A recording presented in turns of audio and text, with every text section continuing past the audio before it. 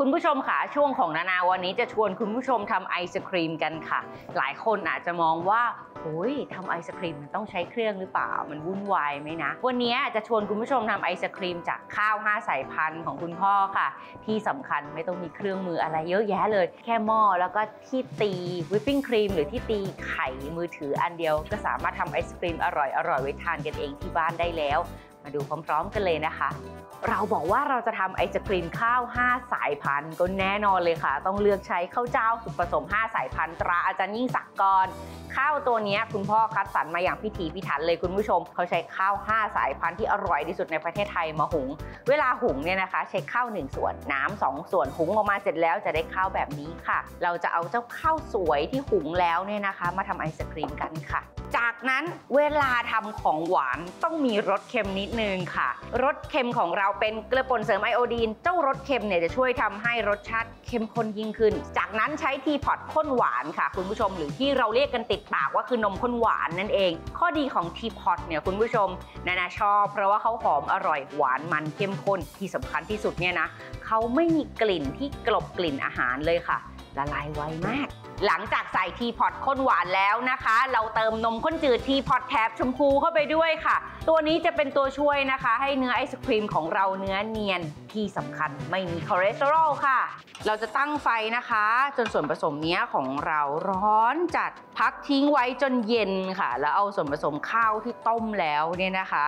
มาคนกับ whipping cream ที่ตีฟูค่ะ ข้าวตัวนี้จะมีรสชาติหวานๆแล้วก็มีเค็มนิดๆอยู่แล้วค่ะ เพราะฉะนั้นเนี่ยวิปปิ้งครีมของเราตีฟูออกมาเนี่ยนะคะ รสชาติจะพอดีเลยล่ะ คนนิดนึงส่วนผสมมีความหวานค่ะ ถ้าเกิดว่าเราไม่คนเขาเนี่ยอาจจะนอนก้นแล้วก็ไหม้ได้นะะควันขึ้นแบบนี้แล้วนะคะ ปิดไฟค่ะ แล้วเราก็พักส่วนผสมตัวนมกับข้าวของเราไว้จนเย็นสนิท แล้วเดี๋ยวเราจะเอามาโฟกับวิปปิ้งครีมตีฟูกันนะคะ การทำไอศครีมแบบง่ายที่สุดเนี่ยคือการใส่อากาศเข้าไปให้เนื้อขนมของเราฟูนั่นเองนะคะ วันนี้เราเลือกใช้วิปปิ้งครีมแช่เย็นจัดๆตีนานาใช้เครื่องตีมือถือค่ะ ง่ายๆ เลยที่มีขายตามท้องตลาดราคาไม่แพงตีขึ้นมาวิปปิ้งครีมของเราเนี่ยนานาตั้งใจให้เนื้อเขาฟูขึ้นมาแบบนี้ แต่ไม่ต้องฟูจนแข็งมันทำให้การทำงานของเราง่าย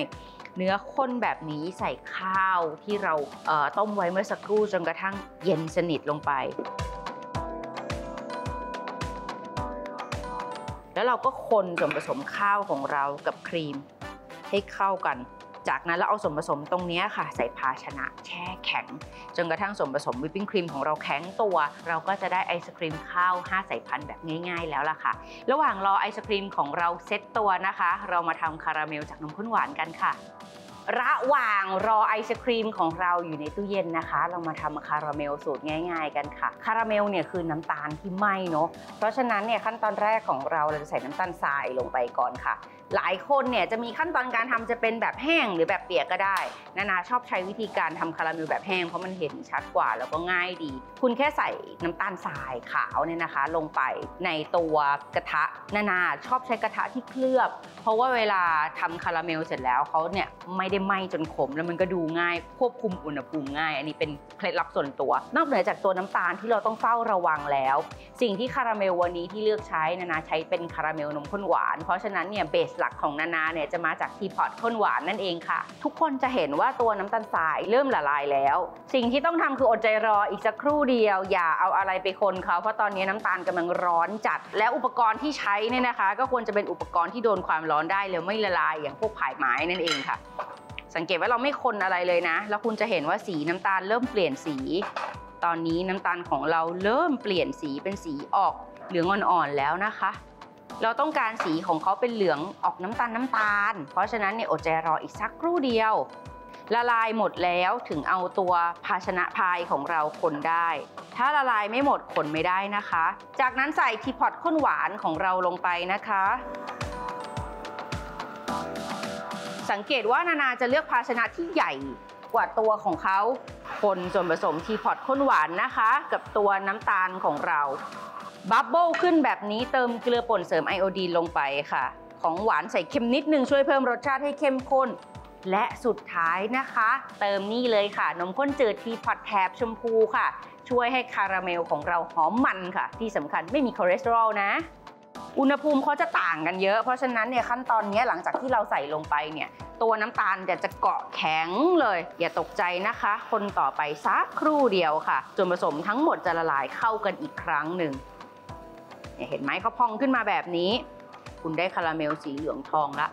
ง่ายมากๆ ที่สำคัญเนี่ยนะคะไม่ต้องใช้ครีมหรือเนยสดอะไรเยอะแยะเลย อันนี้เป็นสูตรที่ทำง่าย แล้วก็ต้นทุนไม่แพงรสชาติโอเคด้วยค่ะ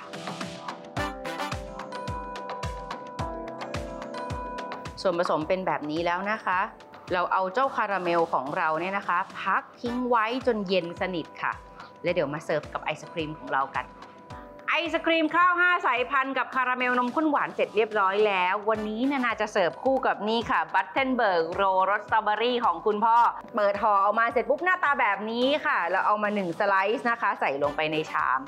เนื้อไอศครีมของเรานะคะ ตักออกมาแบบนี้ไอศครีมวางนะคะ 1 ลูกอย่างนี้นะคะ คาราเมลนมข้นหวานของเราเรียบร้อยแล้วราดลงไป มีความเป็นไทยนิดนึงค่ะ นานาเสิร์ฟกับข้าวตังกับกรอบวางข้าวตังไป วันนี้นะคะ นานาเอาตัว Battenberg rose strawberry ของคุณพ่อนะคะ มาเสิร์ฟคู่กับไอศครีมข้าว 5 สายพันธุ์ค่ะ แล้วก็ทำคาราเมลแบบง่ายๆ เป็นคาราเมลนมข้นหวานเอง รับรองอร่อย perfect เลยล่ะค่ะ